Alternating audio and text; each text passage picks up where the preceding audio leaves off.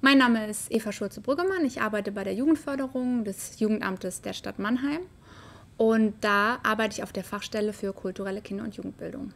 Hallo Eva, was verbindet dich mit dem Forum? Hallo René, äh, das Projekt Band Support verbindet mich ganz stark mit dem Forum. Das Forum ist Projektpartner bei Band Support und schon seit immer dabei, äh, unglaublich starker Partner für uns. Ähm, hier lassen wir Konzerte stattfinden, Workshop, äh, Workshops stattfinden und das verbindet mich mit dem Forum. Was genau ist denn der Band Support Mannheim? Der Band Support Mannheim ist ein Coaching-Förderprogramm. Wir nehmen jedes Jahr sechs Bands mit ins Programm und coachen die ganz intensiv über das Jahr hinweg. Jede Band bekommt einen Bandcoach zur Seite gestellt. Und dann gibt es noch verschiedene Intensivworkshops, die wir machen mit den Bands. Wir machen Bandfotos, wir machen Musikvideos, äh, wir machen Performance-Coaching. Und das ist so ein, quasi ein Gesamtpaket, um die Bands auf dem Weg in ihre Professionalisierung zu begleiten. Konntet ihr dieses Jahr überhaupt normal starten aufgrund der Corona-Krise oder war das quasi genau das schlechte Timing? Also wir konnten starten, ganz normal. Wir hatten auch einen Kickoff mit allen Bandmitgliedern und dann ähm, kam die Pandemie. Also eigentlich wirklich direkt in den Anfang des Projekts irgendwie reingehauen. Und das war schon extrem schwierig. Äh, zuerst haben wir gedacht, okay, vielleicht müssen wir das ganze Projekt verschieben aufs nächste Jahr. Dann haben wir festgestellt, äh, wir können mit Online-Coachings erstmal ansetzen, also haben die ganzen Band-Coachings erstmal online stattfinden lassen und es ging. Es ging echt ganz gut. Also am Anfang ist es ja sowieso ganz viele Themen, die erstmal besprochen werden müssen. Ne? Also was, äh, was für ein Gesicht will die Band haben, wie organisiert sie sich intern. Also ganz viele Themen, die erstmal besprochen werden. Und dann fängt so an die, die Arbeit im, Band, äh, im Proberaum einfach auch. Und äh, ja, dann wurde es natürlich äh, schwieriger, nachdem dann so diese ganzen Themen abgefrühstückt waren ähm, und definiert waren, wollten die Bands natürlich gerne in den Proberaum gehen. Und äh, das ist jetzt echt eine Herausforderung, denn die Proberäume müssen groß genug sein für die Personenanzahl. Also 10 Quadratmeter pro Person müssen wir haben. Und deswegen haben wir jetzt einen Proberaum im Musikpark eingerichtet, äh, mit Hilfe der Music Commission, äh, die ja auch Projektleitung ist äh, im Band Support und äh, Session Waldorf, die haben den ausgestattet, den Proberaum, und der ist äh, knapp 100 Quadratmeter groß und da können äh, die Bandmitglieder gut Abstand halten und wenigstens erstmal wieder instrumental in die Proben gehen. Singen ist im Moment noch schwierig wegen den Aerosolen, die sich verbreiten im Raum. Du hast ja schon angesprochen, viele so Teilaspekte, die kann man sicherlich ja auch ähm, in den Online-Bereich verlagern, gerade so theoretische Sachen, wenn es zum Beispiel um ein Band-Image geht oder vielleicht auch sogar äh, Songs schreiben und sowas. Aber ich glaube, so das A und O und ja auch so der Kern von jeder Band ist das Live-Spielen. Mhm. Und das ist ja auch für die jungen Bands gerade wichtig, sich da auszuprobieren, möglichst viel live zu spielen. Mhm. Wie nehmen die das denn auf? Ja, es ist natürlich einfach dieses Jahr total suboptimal. Ne? Also wir haben ja normalerweise immer äh, einen Spot auch ähm, auf dem Schlossfest. Das ist abgesagt worden. Wir wissen nicht, ob wir das Abschlusskonzert stattfinden lassen können. Ähm, also so diese, diese Konzerttermine, ähm, die eigentlich im Bandsupport immer gesetzt sind, sind einfach stehen jetzt auf dem Spiel.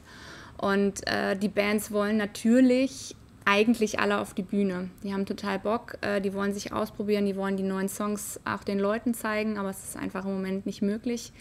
Also es ist schon auch demotivierend, aber es ist ja die Gesamtsituation eben. Ne? Und jetzt überlegen wir auch, ähm, machen wir doch noch ein Online-Konzert oder was ich cooler fände, können wir doch vielleicht irgendwo ein kleines Konzert machen, wo, ähm, weiß ich nicht, maximal 99 Leute mit Abstandsregelungen sind, aber dass die Bands wenigstens mal wieder live auf die Bühne kommen, das fände ich schon echt sehr wichtig. Ähm, also wir sind da dran, äh, das ist einfach generell für äh, MusikerInnen total doof gerade und äh, echt eine ganz, ganz suboptimale Situation. Äh, so ein wichtiger Aspekt beim Band-Support ist ja auch wirklich so das intime Arbeiten, dass man wirklich one-on-one -on -one ganz nah an die Bands herankommt, auch gerade mit den verschiedenen Coaches in die Proberäume mhm. reingeht. Das fällt ja jetzt auch alles so ein bisschen flach. Haben sich da die Coaches und die Bands auch so ein bisschen dran gewöhnt? Sind die trotzdem so ein bisschen aneinander gewachsen? Ich glaube, jede Band hat ja auch so wirklich so einen Coach zugewiesen. Genau, genau. Jede Band hat quasi einen äh, Mentor oder Mentorin. Äh, und das ist uns total wichtig, dass das eine intensive Zusammenarbeit ist. Das ist wirklich das Herzstück vom Band Support. Ne? So dieser, diese Beziehungsarbeit, ähm, dieser Kontakt, ähm, wo die Bands auch wirklich ganz viel auf die Meinung der Coaches geben. Und äh, das ist super wichtig, funktioniert aber auch online, soweit ich das mitgekriegt habe von den Bands, gut. Also das Feedback habe ich, dass das schon auch äh, cool ist und dass sie das online ziemlich gut hinkriegen, sehr intensiv äh, zu arbeiten und jetzt ja auch zum Glück nach und nach sich auch wieder persönlich treffen können. Also wenigstens mal so, ne, sich wirklich in die Augen schauen, auch wenn man vielleicht noch ohne Gesang proben muss, aber man kann wieder arbeiten im Proberaum. Und ich glaube, da haben die jetzt echt auch aufgeatmet. Also so diese, diese enge Beziehungsarbeit, die findet jetzt auf jeden Fall äh, auch erstmal wieder statt und hat auch, glaube ich, über, über Online-Funktionen, äh, Videokonferenz auch gut stattgefunden. Ja, da können wir ja schon quasi glücklich sein, in welcher Zeit wir leben. Mhm. Wenn das vor zehn Jahren gewesen wäre, wäre das um einiges schwieriger gewesen. Ja. Ähm, du hast ja auch schon das äh, Schlossfest angesprochen oder auch das Abschlusskonzert. Es ist ja so, dass es äh, sozusagen der Gewinner beim Abschlusskonzert, ich glaube, nach dem Klatschen äh, auf dem Schlossfest dann spielen darf. Gibt es da schon Überlegungen? Sind es dann zwei Bands eventuell nächstes Jahr, die da spielen? Ja. Oder wird so ein äh, Abschlusskonzert vielleicht Open Air verlegt oder für so ein Autokonzert? Habt ihr da mhm. schon Überlegungen?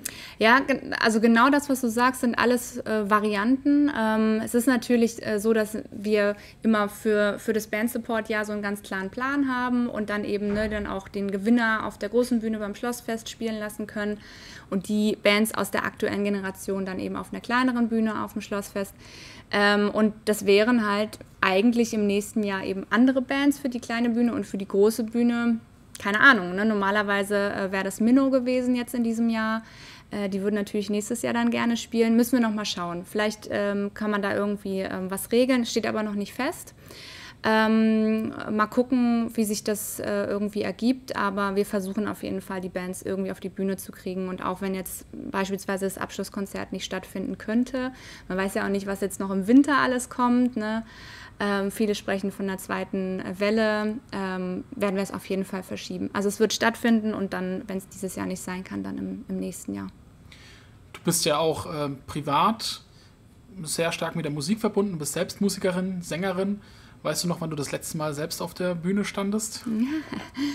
ähm, oh ja, krasserweise bei der Mannheim Music Week. Ähm, die Music Commission hat nämlich ein, äh, so einen Truck gemacht und ist damit in die Stadtteile gefahren äh, während der Mannheim Music Week und hat ganz viele Künstler dazu geholt und äh, da stand ich dann auch äh, kurz auf der Bühne und habe gesungen und es war einfach echt cool. Also so dieses Gefühl, wieder für Publikum zu singen, Applaus zu bekommen. Die Leute waren mega dankbar, total glücklich. Auch super, dass es in Stadtteilen war, ähm, ne, die einfach weiter draußen liegen, ähm, die vielleicht äh, ja auch so ein bisschen brennpunktmäßig sind und die Leute waren total dankbar. Es war echt ein schönes Gefühl. Aber davor ist es jetzt schon echt lange her und es fehlt.